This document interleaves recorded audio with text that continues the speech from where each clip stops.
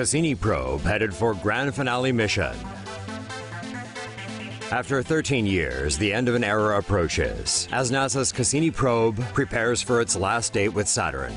NASA's Cassini spacecraft is now on course for its last mission that will see it dive and disintegrate into Saturn's atmosphere on Friday. The probe sped around Titan on September 11th in a flyby meant to lower the spacecraft's orbit enough to ensure it will crash into Saturn's atmosphere on September 15th. The main purpose of the mission is to make sure Cassini does not contaminate the moons of Titan or Enceladus, both of which scientists believe could support life with Earth microbes.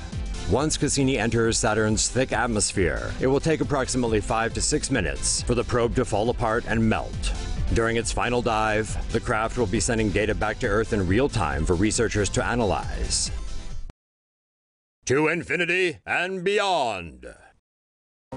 Saturn probe enters grand finale. NASA's Cassini spacecraft has begun the final stage of its mission after nearly 20 years traveling in space. The Cassini spacecraft entered its grand finale orbits between Saturn's cloud tops and the planet's rings on April 26, 2017. According to NASA, Cassini survived its first dive between Saturn and its innermost rings, sending back never before seen images of the planet's atmosphere, including this hurricane. During the dives, Cassini will measure ice and other content in Saturn's rings and take measurements from the planet's rocky core. Cassini will enter its final orbit on September 15th, in which it is expected to destroy itself by flying directly into Saturn's atmosphere. The Cassini spacecraft was launched in October 1997 from Cape Canaveral Air Force Station in Florida. It traveled 2.2 billion miles to reach Saturn. NASA reckons the moons of Jupiter and Saturn may support life, New research from NASA suggests that the vast oceans found on moons orbiting Saturn and Jupiter could support microorganic life.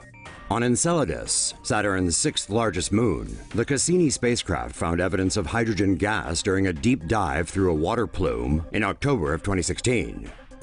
Hydrogen and other chemical elements, along with water and energy, are key for supporting life.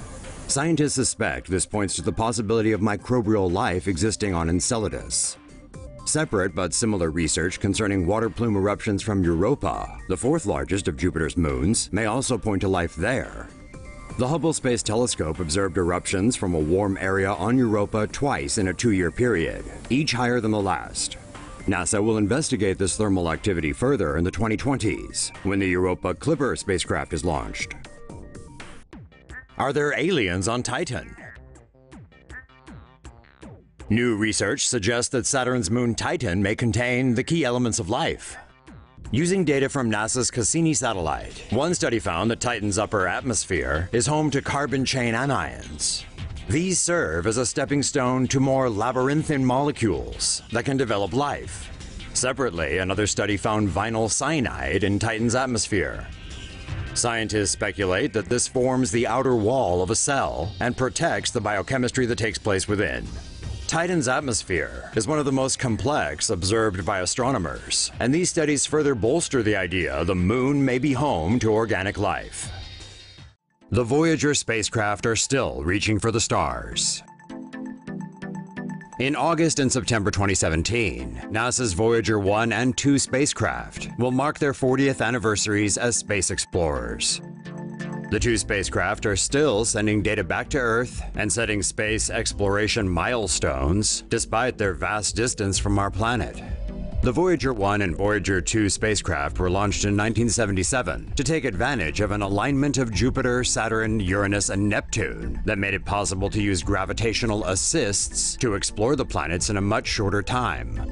This alignment appears once every 175 years. Voyager 2 was launched earlier than Voyager 1. It is the only spacecraft to have conducted flybys of Jupiter, Saturn, Uranus, and Neptune. Voyager 1 took a shorter but faster trajectory that used a gravity assist maneuver at Saturn to take it out of the solar system. In 2012, Voyager 1 became the first spacecraft to cross into interstellar space. It is still transmitting data at a distance of almost 13 billion miles away from Earth. Voyager 2 is in the space known as the heliosheath, almost 11 million miles from Earth. That spacecraft is expected to enter interstellar space in the next few years. Each spacecraft carries a gold-plated record of sounds, pictures, and messages about Earth, just in case some intelligent ETs find them.